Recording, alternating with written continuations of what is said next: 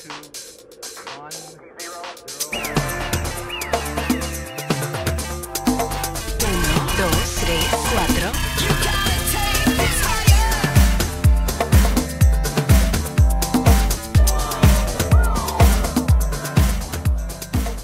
everyone, today we're going to take a look at geometric series. Um, now you'll remember back from Math 10 we talked about arithmetic sequences and arithmetic series and if you were asked what's the difference between a sequence and a series you'd probably say something along the lines of well I know with a series I'm going to take the sum of a bunch of terms and add them together. Uh, so if you have a geometric series it's taking a geometric sequence, but instead of separating by them by commas, you're going to add each of those terms together. So an example of a geometric series is written right here where it says 1, 5, 25, 125, uh, and so on. Uh, let's give an example of a second one. If you wanted to do something like, uh, how about 4 plus 12 plus 36 plus 108 uh, and it could keep going if you wanted it to. Okay, so uh, so a series is now finding the sum of a geometric sequence.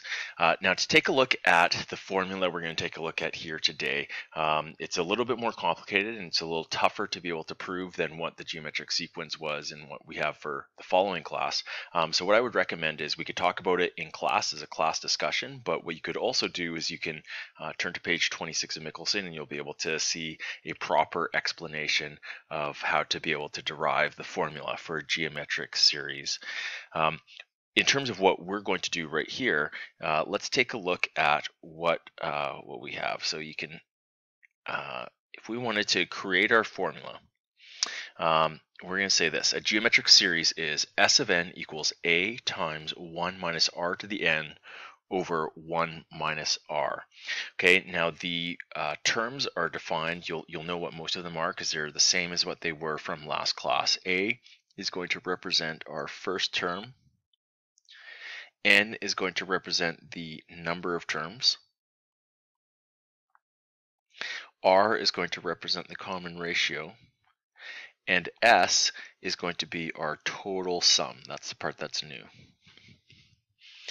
Okay, so once again, uh, we'll talk about it in class, but you can take a look on page 26 at Mickelson to see how he derives the formula. Um, okay, so now if we wanted to start to apply some of those examples, uh, let's see what we could have right here. Okay, so, uh, whoops. Our first, first example, doo, doo, doo. There we go. Um, okay, it says find the sum of the geometric series 2 plus 6 plus 18 plus 54, insert a few terms, and then plus 1458. And so if we have something like that, ah, you know what? Again, it might be easier to almost figure out what those numbers are in between and be able to just add that up manually. Um, in fact, with this one here, that probably would be pretty quick and we might be able to add those terms up quite um, quite quickly without having to use a formula. Uh, but because we're trying to figure out how this all works, uh, we will we will take a look at the formula. So here's here's what we have. Um, if we wanted to do something where we know our formula S of n equals a 1 minus r to the n over 1 minus r, and you were to try to list out what each of the parameters are. we know that our first term is 2, we know that our common ratio is 3, but we don't know the number of terms, but we do know that our total sum, no, we don't know what our total sum is. Uh, we don't know what our total sum is either. So we're, we're stuck here, we're trying to figure this out, and we don't have a lot of information to go with, because if we plug something in here, uh, we won't have um, anything to be able to tell us two of the unknowns, which means that we couldn't really proceed. So what I want you to do is I want you to think back to your geometric sequence formula. And we're just going to go over here and we're going to say this, T of n equals AR to the n minus 1. And using this formula, we actually can do a little bit more because we know that our T of n, our last term, is 1458. And if our common ratio is 3, our first term was 2, and we want to solve for n, we'd be able to do a little something more right now. And again, this isn't fantastic, but we could do a little something more. Um, take a look at something like this. You could divide both sides by 2. Don't think that you could times the 2 and 3 by each other. But we could divide both sides by 2, and we would get 729 equals 3 to the n minus 1. And this part's going to be a little bit frustrating right now, uh, but if you were to look at this, you would say, well, I can't solve for n because n is an exponent. And actually, until later this year when we start learning logarithms, we're not going to be able to solve for n in this case because we can't solve for a variable that's an exponent. But if 729 and if 3 are related in some way where they could be written as common powers, then we might be able to solve for n in another way. Uh, so if you guess and tested and you said, well, what's 3 to the power of blank? Or what's 3 to the power of, let's say, well, if you said what's 3 to the power of 6, and you put that into your calculator, you would find out that 3 to the power of 6 is 729. And so you just have to guess around with a couple options. There's not too many different options on what it could be because it's going to be a nice clean integer number. So we're going to say 3 to the power of 6 is the same as 7, 729. And that's going to be equal to 3 to the power of n minus 1. So in other words, n is going to have to equal 7. That's meaning that that's the seventh term in the sequence. But what that does tell us is if we go back to now our formula over here, we could plug a 7 in right there. And so uh, based off of that, that's going to help us out a whole lot because we could now say this. Um, S of 7 is going to equal 2 times 1 minus 3 to the power of 7 all over 1 minus 2. 1 minus 3, sorry. And if you take that and you put that into your calculator, um, and you should practice putting that into the calculator because it can be a little bit awkward. Uh, you might want to double bracket this just to make sure it looks good, or you could bracket that a little bit cleaner. Um, so if you have something like that, you're going to get an answer of 2,186. Okay, I'll show you a quick uh, calculator trick for something with this as well. So if you wanted to, uh, if you're if you're worried about the brackets, then what you could also do is um, if you have, let's see, if we go alpha y, okay, so make sure you have your calculator out, press alpha, and then the y value, and then press enter, and it will create something where you already have a fraction. You'd be able to answer some things um, pretty efficiently from something like that. And so if you did that, you look back to what you had and you wanted to type in this, well, you could say, well, let's try that again. So you'd have 2 bracket 1 minus 3 to the power of 7. Go to the right, close the bracket, go down here, I believe this is 1 minus 3. If you do something like that, uh, you should be able to get your answer pretty quickly, uh, 2,186, and that should uh, that should work out okay. So, um, let's see what we have here.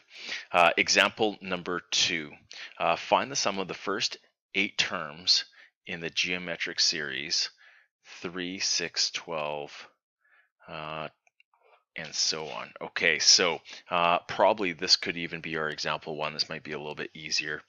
Let's go here. S of n, A, R, n. Let's write these out on the side. S of n equals A bracket 1 minus R to the n over 1 minus R. Okay, the first term is going to be 3. The common ratio is 2. We know that we have 8 terms, but we don't know what our sum is. Okay, so this is uh, a straight plug and go at it. Uh, if we do this, we could say S of 8 is going to equal 3, 1 minus the common ratio of 2 to the power of 8 all over 1 minus the common ratio of 2. Put that in the calculator and you're going to get a sum of 765. Okay, so hopefully that question was a little bit easier than, um, than what we had uh, from the first example. Okay, I want to take a look at the example number three. And when we take a look at this one right here, um, there's actually a way that you can enter this into the calculator as well. Uh, so take out your graphing calculator again, and clear this.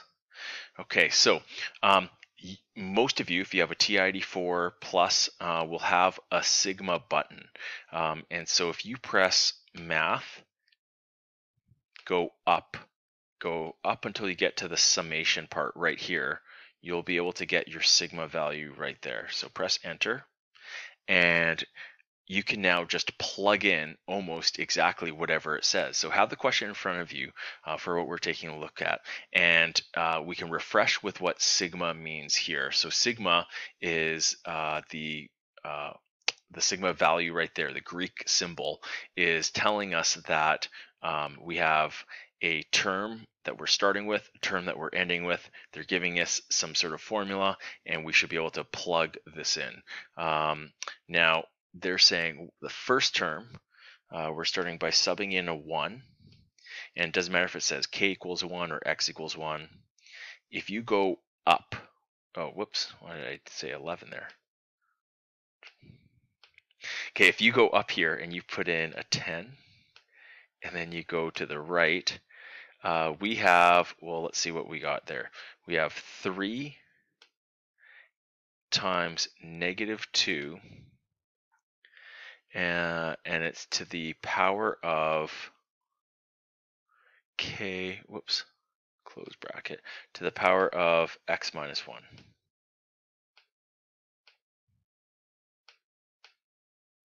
Okay, and if you press this, we get negative 1023, so everything works out okay. Um, let's go back to seeing what this says it is and uh, and let's just make sure we know what, what we said as an answer. We said it was negative 1023. Uh, but let's try and see if we can remember exactly what this means. Uh, so this may look a little familiar from Math 10. Beginning at 1, this is what we start with. We're going to start putting in values for k, and we're going to stop once we put in the 10th value for k. So you start by putting in a 1 for k, then you put in a 2, a 3, a 4, a 5, dot, dot, dot, all the way until you stop by putting in a 10 for k. I'm going to list out the first few terms and we can see what happens when we sub in these terms.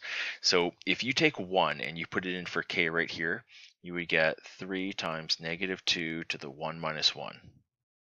That's going to be your first term. Our sigma value means that we're going to sum each of these additional terms. So we're going to add that to, well, what would happen if I put in the second term? And then what would happen if I put in the third term? Okay. And you're going to do that all the way until you put in the 10th term. And so if you do something like that and you look at your first term, um, well, we know 1 minus 1 is going to give us 0. So anything to the power of 0 here is going to give us uh, 1 times by 3. Our first term can simplify to say it's going to be the number 3. Then your second term is going to say, well, negative 2 to the power of 1 is negative 2. And negative 2 times 3 is going to give us negative 6. So I'm actually just going to change that and I'll write subtract 6. And then over here, we would have negative 2 squared, which would give you positive 4. 4 times 3 is going to give you 12. And so what's the pattern that we see? Well, we seems that we have a common ratio of negative 2. and our first term is a 3. And in fact, what you'll find is if you have something here that's raised to the power of k or k minus 1, something with just a k in front of it um, as the exponent, then whatever this base is, is going to represent your common ratio. Um, and because it's in that form of actually tn equals a times r to the n minus 1, this 3 in this particular case here, because it's raised to the power of k minus 1 in your equation, that 3 is going to represent your first term. It's going to represent your a value. Um, but um, regardless now, if we have something like this, and you had your SN, A, R, N, we should be able to find out a solution right from here. I'm just going to go, whoops. Uh, what would happen if you had your formula and you said uh, Sn, whoops, equals um, a bracket 1 minus r to the power of n over 1 minus r, and we sub in our values. We're trying to find the 10th, the sum of 10 terms. Our first term is 3. Our common ratio is negative 2. We're going to raise that to the power of n, and it's all over 1 minus the common ratio. Okay, uh, Just a couple algebra uh, things to think about right here. Uh, we know that uh, you should be able to do something here where you can add these guys. That would make a 3 and that would reduce with that 3 right there. But you can't touch this uh, because that negative 2 belongs to the power of 10. And so in your BEDMAS you have to make sure that you take a look at that first. And if you plug all of that into your calculator, you do get a value of negative 1023. So we are on the right track with, uh, with everything that we're looking for. Okay, let's continue on. Let's take a look at example 4. Uh, oops.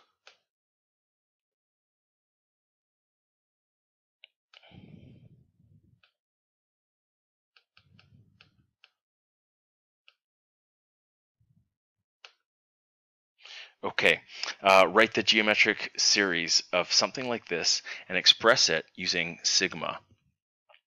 Uh, so if we wanted to say something with sigma, uh, we could write k equals 1 down here. They're asking us to. And we have one, two, three, four, five terms. So we're going to start by subbing in k is 1, and we're going to stop once we've subbed in k is 5. So you sub in 1 for k, 2 for k, 3 for k, 4 for k, 5 for k. And if you want to come up with a formula for it, probably let's take a look at something that you'd be in the form of Tn equals AR to the n minus 1. Our A value is 6, our common ratio is 3, and we're going to raise it to the power of, well, k, because we have a k value right here, minus 1. And let's look what would happen if you would sub in some values from that. If you plugged in a 1 for k right here, you would have an exponent that would be to the power of 0, which means you would only be left with this front value, this a value, which is a 6. So that would work out just fine. And then every time you start subbing in uh, a new integer for k, you're going to get something that would be be multiplied by 3 because your uh, base right here is a 3, and as it gets increased as an exponent each time, it's going to get multiplied by 3. So if you put in a 2 for k, for instance, you would have something that would say 3 to the power of 1 times 6, which would give you 18, and that would be all good. So this would be our best and easiest way to be able to express uh, what they had is the series using sigma notation and you can always uh, you could always check it if you want you could put it into the calculator uh, but that looks pretty good Okay, we're going to take a look at a couple word problems right here, and uh, you'll get the, a real idea of how exponential growth uh, can really make numbers become very, very large very, very quickly. Uh, so here's a scenario. If you're paid one cent on the first day, two cents on the second day, four cents on the third day, eight cents on the fourth day, and so on, how much money will you have at the end of a 30-day month? And consequently also, how would that differ if it was a 31-day month? So uh, let's list out a couple of uh, of the terms in terms of what's uh, what's going on. So actually, you're making one cent and then two cents, four cents, eight cents, dot dot dot, and you're doing that for 30 terms. And so they're saying what would happen uh, to find out what S of 30 is.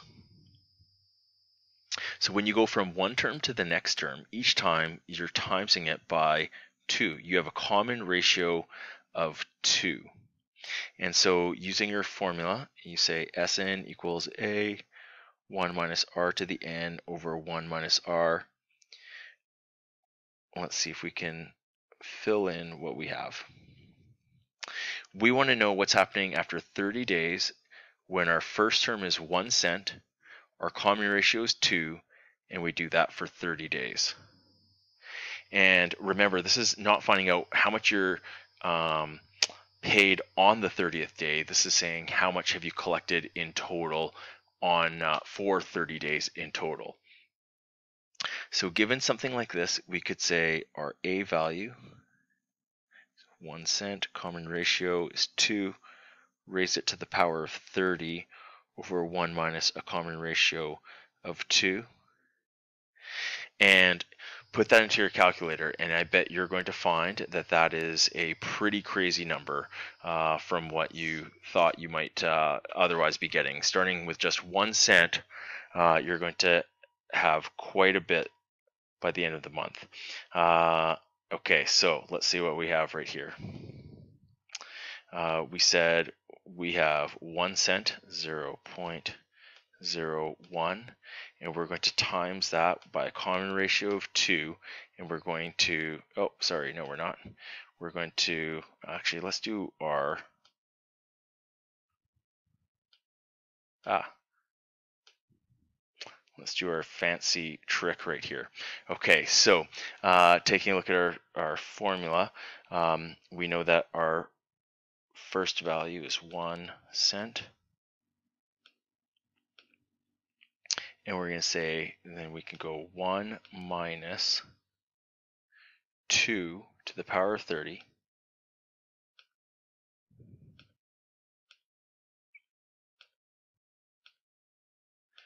And then over here we can say this is 1 minus 2.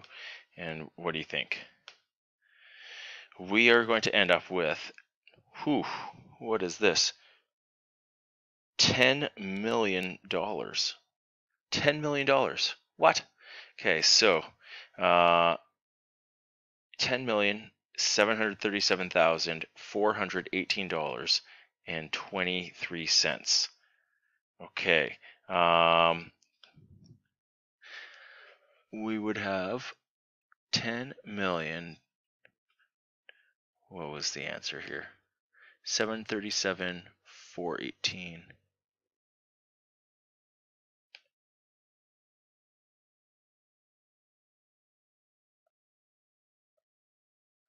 Okay, you would have that much after one month uh, if you made a deal with someone to be able to do that. So uh, that is a lot of cents. um, okay, now how would that differ if it was a 31 day month? Um, well, let's see what would happen. Uh, let's actually go back here and if you just go up top and let's, oops,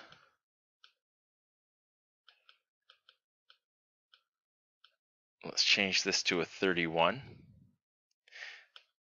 And all of a sudden now you've doubled that amount of money and um, you would now have $21 million.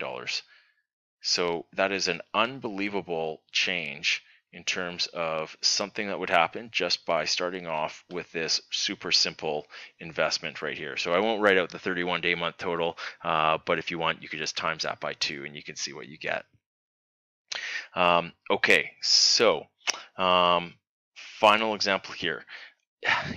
this is kind of a strange question because um, I mean here's here's our our real life application type question that isn't really a real life application too often. Uh, a basketball is dropped from a trunk from a height of five meters, um, but you do uh, have something like this where these types of questions uh, do show up uh, fairly often. Um, there's different types of scenarios with it, but something with a ball bouncing multiple times is something that you're going to see quite a bit. Uh, so basketballs dropped from a truck with a height of five meters. Okay, so right here, we're going to say that is five meters, and it rises up four fifths of its height. And it's going to do that, uh, and it wants to know what's going to happen after it hits the ground for an eighth time. So I'm just going to draw this out. Here's the first time, second time, third, fourth, fifth, sixth, seven, eight, like that. And the question says, find the total vertical distance that the ball will travel once it hits the ground, the moment it hits the ground, for the eighth time. Uh, and it's a bit of a, a strange question. Um, there's multiple ways to be able to uh, take a look at this, um, but um, here's here's one way that we could possibly uh, look at this. Um, I'm going to look at this first term, and I'm just going to put in a dotted line down here this never occurred, but that makes every up bounce have an equal down bounce, meaning that when I go up here, I go back down. When I go up here, I go back down, and so on. Um, it would make this also have an up and a down bounce. And if you do that, there would be one, two, three, four, five, six, seven, eight of these. And so what you could say is uh, using our formula,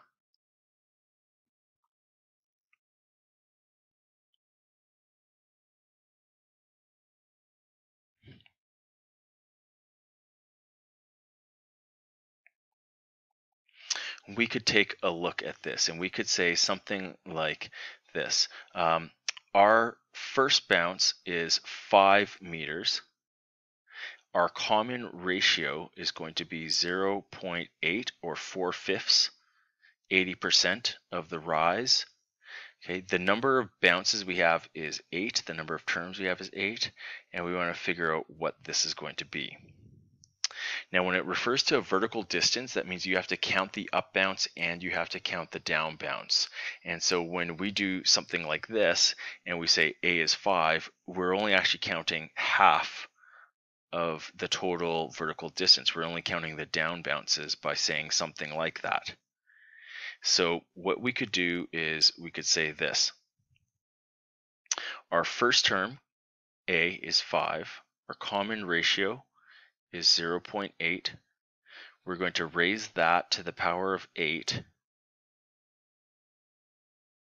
But then from here, we need to times this by 2 because we have to count all of the up bounces that happened as well. So we're going to double our answer and then from there you're going to subtract 5 because that first bounce never had a double bounce. It didn't go up, it only went down. So we can't count that twice.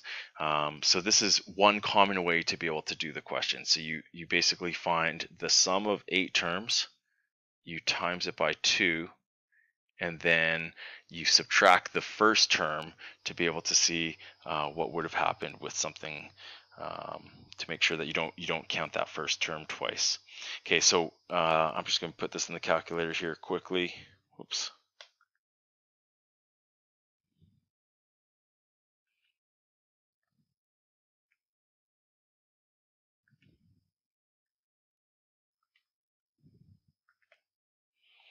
Okay, so if you times it by 2, subtract 5, you should get to one decimal place 36.6 meters. Okay, kind of a strange question. Uh, we could talk about that a little bit more in class too. Okay, that's it. Uh, here's your homework for uh, for the class. There's some tough word problems that we'll uh, we'll be able to take a look at, uh, but there's some good questions uh, in there for sure. So uh, that's that's all for today. Thanks.